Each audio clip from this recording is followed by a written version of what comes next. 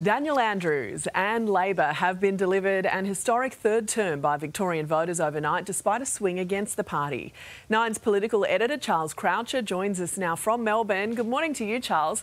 Labor has retained its majority, but it's been a hard fought campaign and a tough few years. A really tough few years, Jane, and given all that's been that Victoria has been through, all that the voters have been through, a really big endorsement of Dan Andrews that they've returned him back to the role as Premier. Not many governments get through three wins. Certainly, even fewer premiers get three wins, and that's why uh, Daniel Andrews was so excited when he took to the stage last night. Two words: yes, yes. This was a resounding result for Labor, given all that has happened here in Victoria. In the end, seat-wise, very little has changed. Labor has lost skin in some of the working class areas, but all those seats they won four years ago, particularly in the states uh, east and, and southeast, they've held again, which is a huge result for Daniel Andrews, a huge result for Labor going forward and is going to cause some huge soul searching for the Liberal Party. Here's some of what the leaders said last night.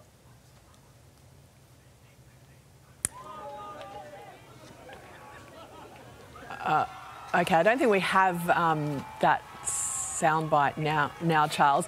Um, so I want to ask you another question. Labor has won, obviously, but there was a swing against Labor.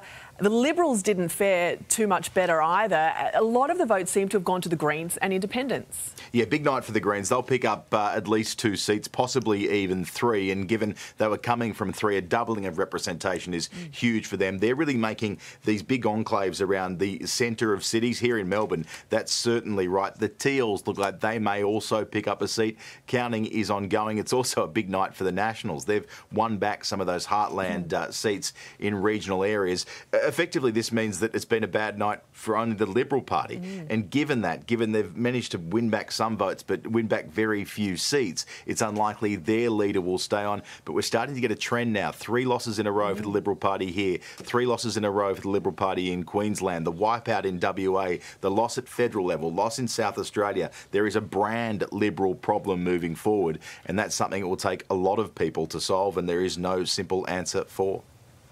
Well, speaking of that, we had um, Nationals federal leader David Littleproud on the show earlier. He was very careful to only be talking about the National Party, but he was talking about their success and the selection of young female candidates, the selection mm. of a plumber in one seat it seemed as though that was a warning to the Liberal Party that they, they needed to have a look at what they were doing in terms of candidate selection. What will be next for the Matthew for Matthew Guy and the coalition? It's hard to see how Matthew Guy stays on at leader. This is two elections in a row now that he has lost, and uh, given where he picked up the role from, he's gone backwards as leader. He lost seats last time, hasn't picked up seats this time. He has long been the young talent in the Liberal side. Now they have to look around. The problem they have is that some of those potential potential leaders, guys like Michael Pesutto, who was trying to win back his seat, may not win that seat. So they've got to try and find someone in the party room that can take up mm. that mantle. Michael O'Brien, the man that Matthew Guy replaced uh, just a couple of years ago, he is there. He may end up uh, leader again. But as all this has gone on, Labor's managed to get through this generational change. A lot of young, many female candidates that have replaced retiring ministers on the Labor side while they're in government. They're the ones somehow that have set themselves up for not just four years to come, but eight and 12 as well. Daniel Andrews last night spoke a bit like a first time winner. He was all about what he's going to do next. Often you hear incumbents speak about, look at what we've done for you. That was not the way Dan Andrews spoke last night. And to me, that says he's looking to govern moving forward. If he lasts the entire term, if he stays in the role, he will become Victoria's second longest serving Premier. He is already in the pantheon of Labor leaders, and it's a huge result for him personally and for the party last night. All right, political editor Charles Croucher in Melbourne. Thank you.